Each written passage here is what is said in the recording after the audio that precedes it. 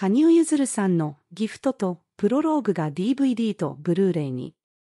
フィギュアスケートのスーパースターである羽生結弦さんの東京ドームでの公演、アイスストーリー2023ギフト、昨年2月26日、と、プロ転向後に初めてセルフプロデュースした2022年の単独アイスショー、プロローグの DVD とブルーレイがそれぞれ発売されることが19日、発表されました。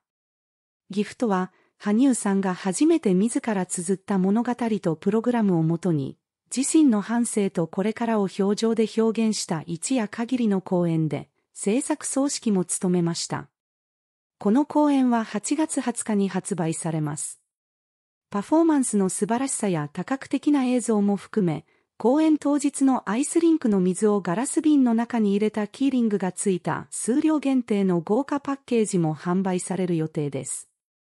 一方、プロローグは、プロ転向後に初めてセルフプロデュースした2022年の単独アイスショーで、12月5日の8個公演最終日の模様が完全収録され、7月19日に発売されます。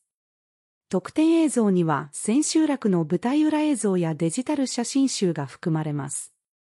この発表は多くのファンにとって嬉しいニュースです。特にギフトはその素晴らしい演技と映像が何度も見たくなるほど魅力的であり、ディズニープラスでの配信が終了するとディスク版が待ち望まれていました。限定ボックスの発売もファンにとってはたまらない魅力です。しかし、一方で海外のファンがこの作品にアクセスできるかどうかについての不安もあります。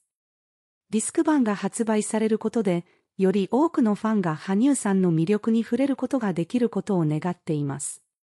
プロローグは、羽生さんのプロ転向後の初めての公演であり、そのエネルギーと情熱に満ちた演技はファンに感動を与えました。そして、ギフトは東京ドームでの壮大なスケールでの公演として、フィギュアスケート史に残る出来事となりました。この2つの公演の DVD とブルーレイの発売は、ファンにとって待ちに待った出来事です。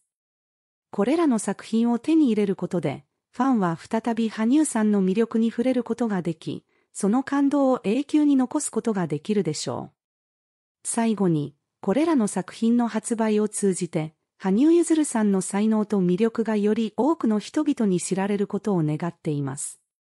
彼のアイスショーはただのパフォーマンス以上のものであり、それは観客にとって本当に特別な体験です。どんなファンも、この素晴らしいニュースに興奮していることでしょう。では、皆さんはどのような特典がついた DVD やブルーレイを手に入れたいと思いますか？また、これらの公演のどのシーンがあなたにとって特別な思い出をもたらしますか？